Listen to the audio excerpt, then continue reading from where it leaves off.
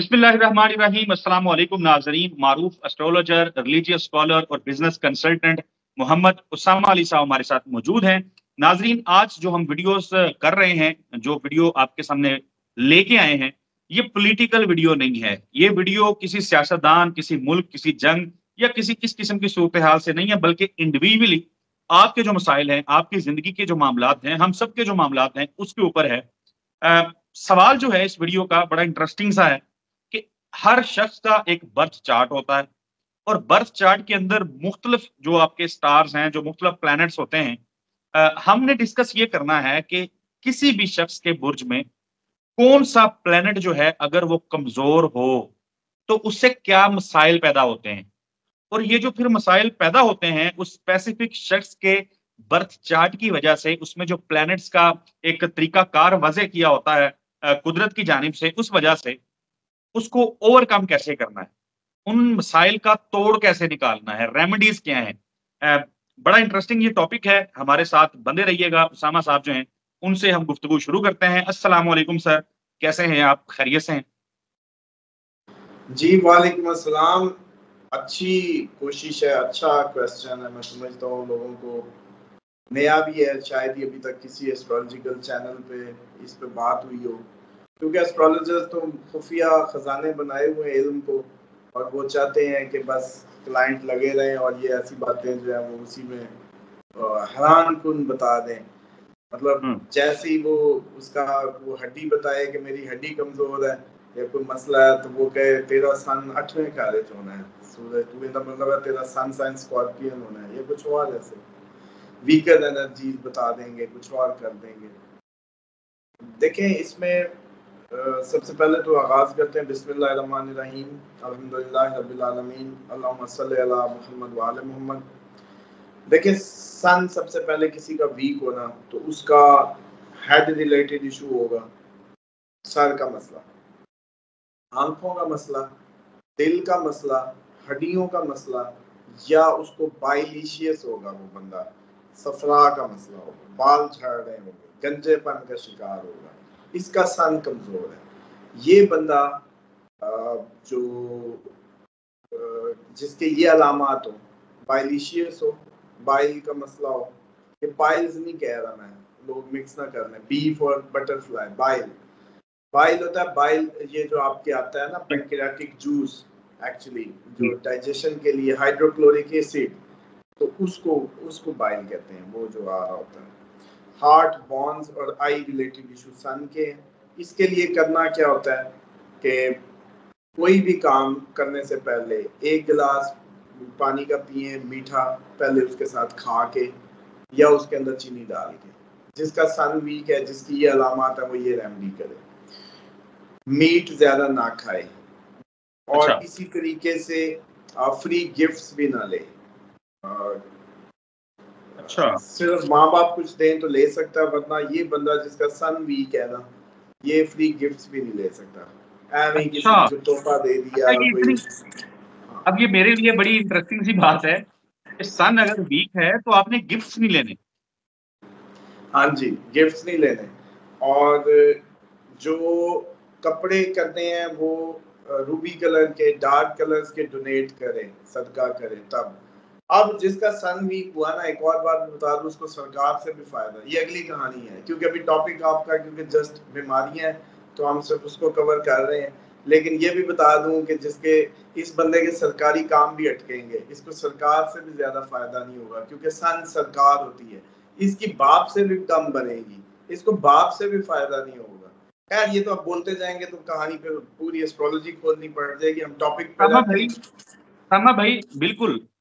میں سمجھ گیا۔ ہم ایک کم بول لیں گے، ہم کم ویڈیوز کر لیں گے، کوئی مسئلہ نہیں ہے۔ لیکن آپ نے اب سن کو اگر چھیڑا ہے نا، تو سن کو آج ختم کریں گے۔ کوئی مسئلہ نہیں۔ ہم باقی جو پلانٹس ہیں، اس کو میں اگلی ویڈیوز میں لے آؤں گا۔ سن کمزور ہے تو اس بندے کو گفٹ نہیں لینے چاہیے۔ اس کے یہ جو فیس ہے، اس کا مسئلہ ہو سکتا ہے بائل کا ایشو ہو سکتا ہے۔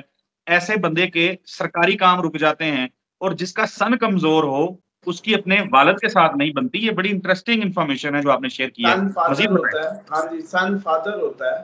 ایسٹرالوجی کی لینگویج میں مون مدر ہوتی ہے۔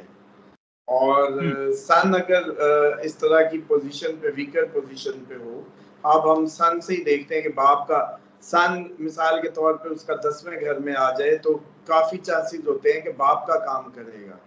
باپ ہی کے شعبے میں جائے گا۔ اپنا وراثتی کام کرے گا۔ اسی طریقے سے اگر وہ سن اس کا فرسٹ ہاؤس میں آ جائے تو سرکار سے کوئی نہ کوئی فائدہ لے گا۔ سن دوسرے گھر میں ہوا، پیسے کا ذریعہ سورج سرکار بنے گی۔ کانٹریکٹر بنے منسٹر بنے، سرکاری جاب کرے، ملے گی۔ سن کا چکر جو ہے وہ آپ کی اوور آل گورنمنٹ گورنمنٹ کی عہدے، اس سے ریلیٹڈ کیونکہ یہ سرکار ہوتی ہے۔ اور اس کا کمزور ہونا اس لیے اب اگر کسی نے الیکشن الیکشن لڑنا ہو یا سرکاری وہ ہو تو وہ پھر میٹھا پانی زیادہ پیا کرے۔ اور چینی بہار کے جو میں نے پہلے بتایا کہ کسی بھی کام کو نکلنے سے پہلے، گھر سے نکلنے سے پہلے میٹھا پانی، چینی ڈال کے پانی پی کے نکلے۔ اور جیسے مولا علی کا ایک فرمان ہے کہ روٹی کھا کے نکلو، نمک لگا کے، نمک چاٹ کے نکلو۔ تو یہ کوئی نئی بات نہیں ہونے لگی جو میں ابھی یہ پانی میٹھا پی کے نکلنے کا کہہ رہا ہوں۔ میرا خیال ہے کہ ہمارے جو ناظرین ہیں اکثریت کو نہیں اس بات کا پتا ہوگا آنےسٹلی مجھے بھی نہیں پتا کہ میٹھا پانی پی کے نکلنا چاہیے اگر آپ کسی کام کے لیے نکل رہے ہیں۔ جی یہ سن جس کا ویک ہے اسٹرالوجیکل ریمڈی ہے۔ لیکن جو اسلامک ہے جو مولا علی سے ہے وہ کہتے ہیں کہ نمک چاٹ کے نکلو۔ اور یا روٹی کا ٹکڑے کو نمک لگا کے کھا کے پھر نکلو حاضریں پوری ہوں گی۔ خیر، وہ نیگیٹیوٹیز کا اور معاملہ ہے وہ جہاں سے بات کر رہے ہیں، وہ ایک اور دنیا ہے، اس پہ علیحدہ کسی دن کریں گے، جو نہیں نظر آتی ہے آپ کو۔ تو بیسیکلی سن جو ہے، وہ لیو کو رول کرتا ہے، ایک اسٹار کو رول کرتا ہے۔ لیو ہی اس میں آتے ہیں ڈوئر ڈوئنگ کیڈر کے لوگ ہوتے ہیں۔ آپریشنلی ایڈمن کا رول یہی نبھاتے ہیں۔ زیادہ تر آپ کو یہی لوگ نظر آئیں گے، دنیا چلاتے یہی لوگ ہیں بیسیکلی اور اسی کو ہی کنگ آف زوڈک بھی مانا جاتا ہے، جس کو سن رول کرتا ہے، وہ لیوز ہیں۔ اور لیو جو ہے ڈیفینیٹلی کام کام اور کام۔ باقی آپ کو پتہ ہے لیڈنگ کیڈر کے جو لوگ ہوتے ہیں، وہ کہانی گیر ہوتے ہیں لیڈر جو ہوتے ہیں زیادہ تر۔ دوسرے جو ہوتے ہیں، وہ برینز ہوتے ہیں۔ باقی تو یہ کام بچارے یہی کرتے ہیں۔ ٹورس کرتے ہیں، یہ لیوز کرتے ہیں، یہ ڈوئنگ کیڈر ان میں بھی کیڈرز ہوتے ہیں۔ لیڈنگ کیڈر، ڈوئر کیڈر اور میوٹیبلز کہہ لیں یا وہ برینز کہہ لیں ان کو، جو دنیا کو آئیڈیاز دیتے ہیں، جیسے مطلب سیٹیرین پائسیز ہو گیا۔ اچھا یہ تھا اوور آل مطلب اگر اس میں کوشچن کریں تو مزید ہو سکتا ہے، ورنہ آگے ہم مون کی طرف جا سکتے ہیں۔ اوکے میں اس کو، میں چاہوں گا کہ میں اس کو کلوز کروں، ہم سن کی جب بات ختم کر لیں۔ آپ نے بتا دیا کہ سن اگر کمزور ہو کسی کے برتھ چارٹ کے اندر، تو اس شخص کو کون کون سے بنیادی جو مسائل ہیں وہ ہوتے ہیں اور ریمیڈی کے طور پہ آپ نے بتایا ہے کہ وہ گھر سے جب نکلے کسی کام کے لیے تو میٹھا پانی پی کر نکلے۔ ہاں جی بالکل۔ گوشت منع ہے گوشت نہ کھائے فری گفٹس نہ لے۔ اور یہ تو جنہوں نے پھر اس کا مطلب الیکشن الیکشن لڑنا ہے نا وہ سرکاری نوکریاں وہ تو گفٹ بالکل نہ لیں یہ خان یہ خان صاحب کا سن تو کہیں ویک نہیں تھا انہوں نے گفٹ ہی ان کو لڑا ہے۔ اگر ویک ہوگا تب یہ اگر لیں گے تو پھر ہار گئے سمجھو۔ پھر الیکشن ہار گئے۔ تو ادھر نے تو فنڈ لیے ہوں گے جو کئیوں نے تو تو یہ نہیں کرنا چاہیے۔ جب فن بالکل ٹھیک ہے۔ بہت شکریہ۔ بہت شکریہ اسامہ صاحب۔ ناظرین اسامہ صاحب نے بتایا ہے اس ویڈیو کے اندر کہ آپ کے برتھ چارٹ کے اندر اگر سن جو ہے وہ کمزور ہوگا تو کیا ہوتا ہے اور ریمیڈیز کیا ہیں؟ اسامہ صاحب کا کانٹیکٹ نمبر ہماری اسکرین پہ ہے۔ آپ کی زندگی کے اندر بھی ہماری طرح بہت سارے مسائل، معاملات چل رہے ہوں گے پرسنل لائف میں کیریئر میں، کاروبار میں بزنس میں، اور فیوچر کو لے کر کے جو انسان کے پلانز ہوتے ہیں، جو انسان کے خواب ہوتے ہیں، ان سب کو لے کر کے۔ ان مسائل کا جو ہمارے برتھ چارٹ میں ہوتے ہیں یا ہماری زندگی میں پیش آ رہے ہوتے ہیں، اس کا اسٹرولوجیکل کیلکولیشن کر کے حل نکالا جا سکتا ہے، اس کا سولوشن نکالا جا سکتا ہے۔ کیسے؟ کیونکہ اس کا پتا چلایا جا سکتا ہے اور دین اس کی ریمیڈیز کی جا سکتی ہیں، اپنے معاملات کو، اپنی تقدیر کو، اپنے مسائل کو درست کیا جا سکتا ہے، بہتر کیا جا سکتا ہے اور زندگی کو ٹریک پہ لایا جا سکتا ہے۔ اسامہ صاحب کا کانٹیکٹ نمبر ہماری اسکرین پہ ہے۔ اسامہ صاحب سے آپ رابطہ کر سکتے ہیں۔ واٹس ایپ کے اوپر آپ رابطہ کریں۔ آپ کو اس کا انشاءاللہ جواب ملے گا۔ اگلی ویڈیو جب ہم لے کے آئیں گے تو ہم کسی بھی شخص کے برتھ چارٹ کے اندر اگر مون کمزور ہو تو کیا ہوتا ہے، اس کے اوپر تفصیل کے ساتھ بات کریں گے۔